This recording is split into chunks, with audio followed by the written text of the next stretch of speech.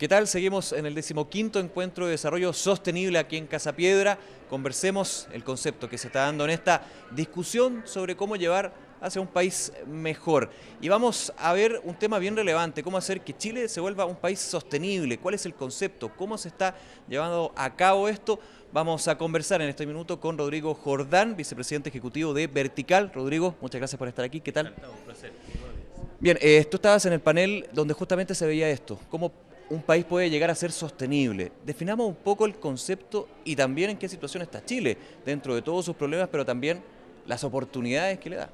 Eh, claro, el panel éramos cuatro eh, y la discusión era sobre un país desarrollado, entendido un poco más amplio, no es solo desarrollo económico, es desarrollo social, es desarrollo medioambiental, es desarrollo cultural. Entonces, pareciera ser que hay un consenso de que ese es el desarrollo que queremos en el país. Hay un diagnóstico que ya está. Que eso es lo que queremos. Ya. O sea, que el desarrollo económico simplemente, y, y no está descartado, pero que no solamente el Producto Bruto, ¿no es cierto?, y el crecimiento económico son las únicas mediciones que hay que mirar. Son tremendamente importantes, pero hay otras, sociales, culturales, medioambientales.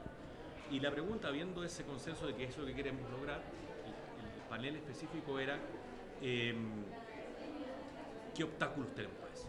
¿Por, qué, por qué estamos con, ¿Por qué no llegamos a ¿Por ese no fin? En algún momento hace, no sé, 5 o 10 años veíamos con mucha esperanza que podíamos llegar y esa esperanza como que se nos ha, ha bajado un poquito. Entonces la pregunta era, ¿cuáles eran esos obstáculos? Eh, ese era el, el- el rol del panel. ¿Y cuáles son los obstáculos? ¿Por qué no podemos llegar a concretar, más que pensar? Porque pensar puede ser una conversación, una discusión, eh, un objetivo, pero llegar a hechos concretos, ¿cuál es lo que está impidiendo eso? Mira, ahí, ahí hay dos cosas. Organización que está detrás de todo esto se llama Acción RCE, ¿no? entonces hay mucho de acción. Eh, Del mundo, punto de vista más empresarial, eh, hay mucho de acción. ¿Qué hacemos? Si tú lo tienes en los logos, acción Claro. de actuar. Pero lo que los panelistas decían eh, era, eh, hay una reflexión un poquito antes de esa acción. ¿no? Que, cuidado, tiene que ser meditada.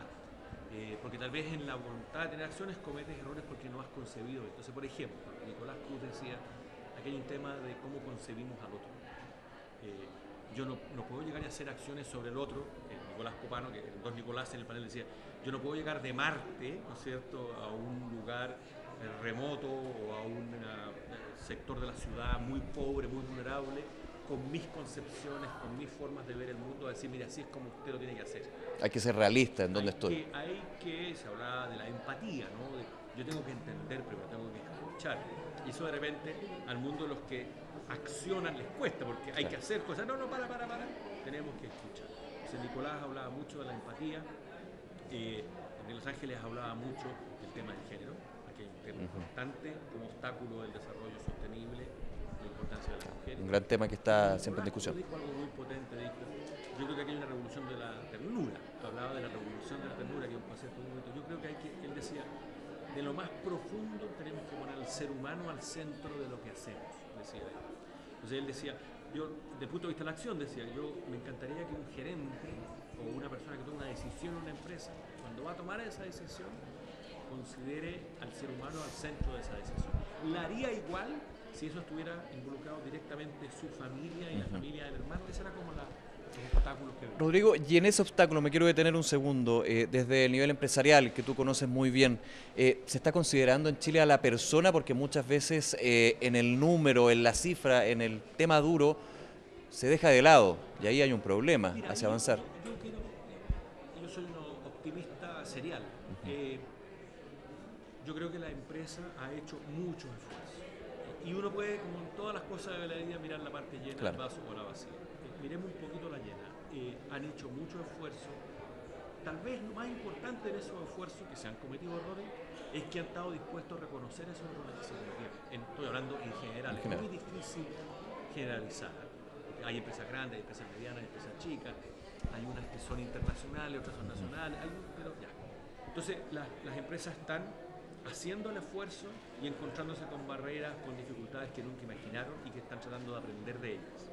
Eh, entonces, eso es. Eh, La parte más vacía del vaso es que se han encontrado con que es más difícil, eh, más largo, con que se requiere más recursos, no es solamente una cosa de cobertura nomás, de pintura por encima, que se requiere de una convicción profunda en la acción. Entonces, eh, va a ser un proceso más largo. Rodrigo, por último, con ese análisis, ¿estamos en el minuto para hacer ese tipo de cambios, para llegar a la acción o la coyuntura económica, la coyuntura política, social, que para muchos, algunos son pesimistas, pero efectivamente hay problemas? hay dos cosas, yo tendría cuidado, yo creo que estamos viviendo un momento bastante tensionante en Chile, tenemos, está difícil, para que estamos con cosas. Pero los problemas que se hablaban aquí, los problemas de eh, explotación excesiva de nuestros recursos naturales, el descuidado y, la gran desigualdad que todavía existe, son temas que no son propios de Chile, son propios que hoy día están. Alguien hablaba del fracaso de las élites.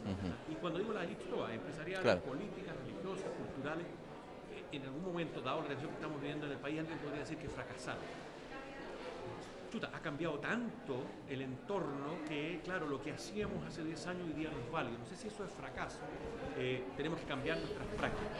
Al hacer eso, yo encuentro que los desafíos que tiene Chile, salvo los puntuales hoy día, ¿no es cierto?, de una baja en el respaldo de la presidenta o en el presidente, por llamarlo en general, algunos temas de eso, los temas que estamos inventando, cuando estamos hablando de derechos humanos, de relaciones laborales, de medio ambiente, son temas que están en todo el mundo tanto Chile está en un proceso que va a ser más largo, no es solamente a solucionar las dificultades actuales que podamos tener, que no las disminuyo en nada.